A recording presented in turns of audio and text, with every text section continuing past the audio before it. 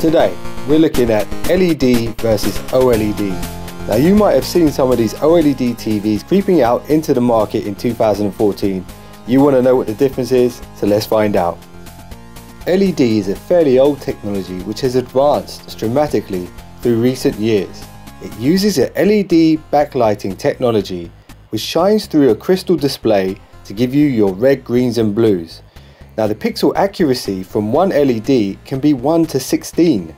OLED is a new technology which stands for Organic Light Emitting Diode.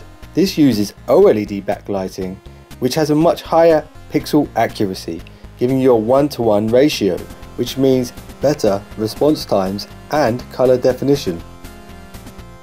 With this technology they're able to make the screens much thinner and even flexible the most significant differences between LED and OLED is the color accuracy, also the contrast levels. OLED has the ability to shut off individual pixels, which means you get completely black sections of the screen. OLEDs are considerably more expensive and only come in a limited range of sizes.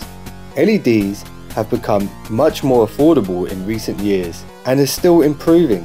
Now this is a significant difference that I have seen firsthand. OLED does not seem to handle motion as well as some of the top end LEDs. The colours tend to bleed out a little bit and it looks a little bit blurry. This may be something that will be fixed in the future. How long is the life cycle of an OLED panel? It has been said that certain colours may fade and die out over time. This is yet to be field tested as the technology is so new. We will find out in the future.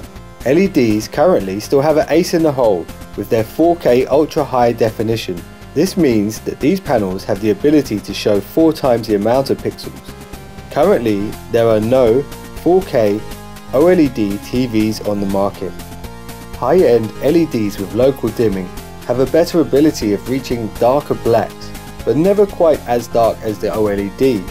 But with their 4K resolution, they are definitely a good match for the OLED panels.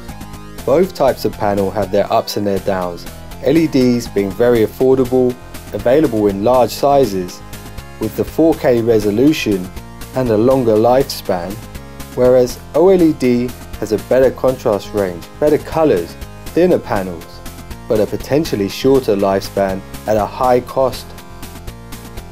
So you can decide for yourself which panels you like better.